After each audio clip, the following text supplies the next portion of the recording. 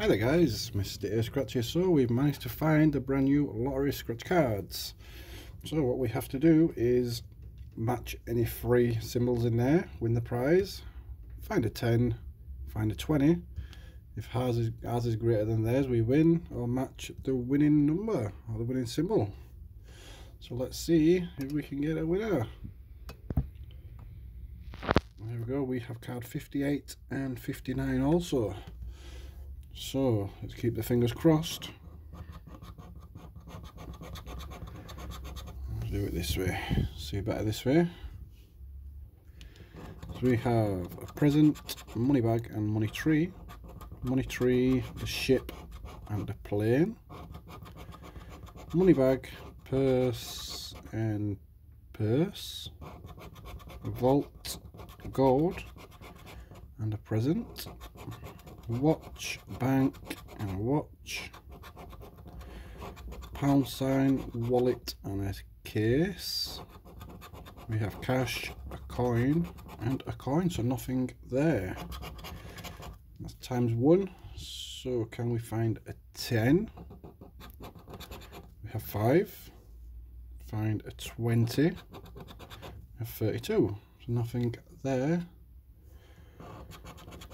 So 22 and 23, 17 and 19, nothing on that one. Now looking for 12 or 26. We have 27, 29, 25 and 14, so nothing on that one. On to the last one. We have purse, gold and necklace, ship, plane and a vault, a wad of money, pot of gold and a money tree, a car, a crown and a money tree, money bag, money bag and money bag. We have a winner. It's not a bust.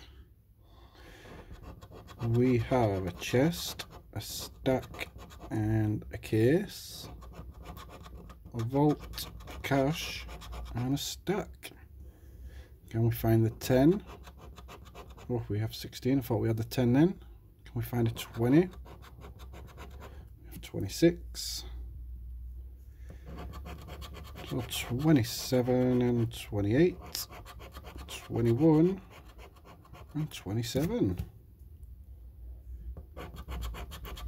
We're looking for 3 and 22. We have 11, 29, 27 and 21. But we did find the money bags. Let's hope it's more than 5. We have... Nope, it's a 5. And what is it times by? Times by 2 no so it's a 10 I shall take that.